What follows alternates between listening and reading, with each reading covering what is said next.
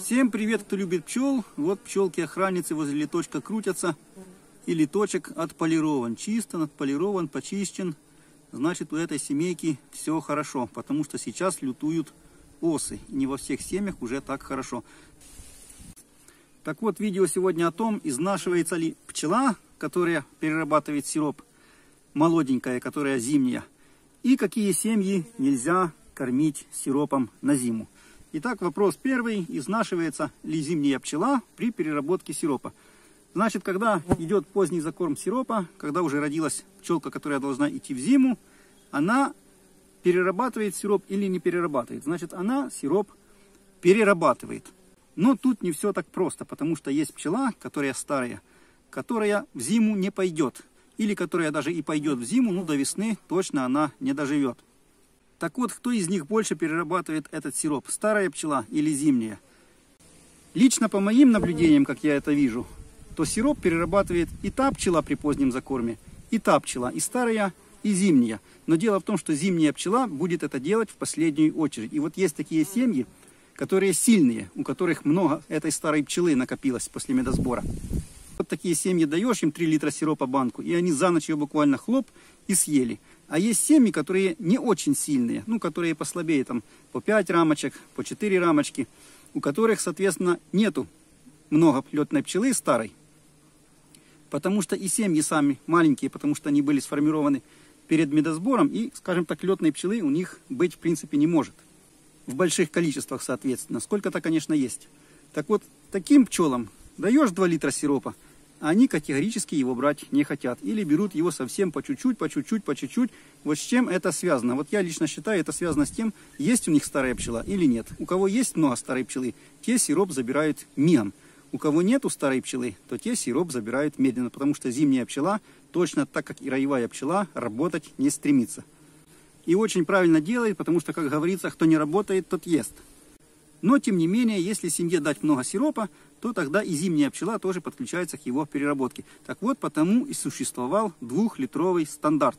И считалось, что семья может нормально переработать за одну, скажем так, дачу сиропа 2 литра.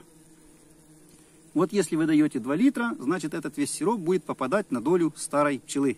Она будет его переработать без участия зимней пчелы. А вот если дать сиропа много, то тогда под эту раздачу попадет и зимняя пчела.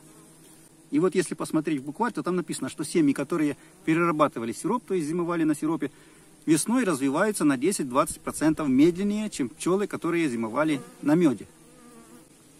Почему так? Потому что пчелы, которые зимовали на меде, имеют стопроцентное неизношенное белковое тело. А вот пчелы, которые сироп осенью перерабатывали, то есть износили на нем свое белковое тело, имеют это тело уже, скажем так, не стопроцентные, вот они эти 10-20% и, скажем так, вылезают боком весной.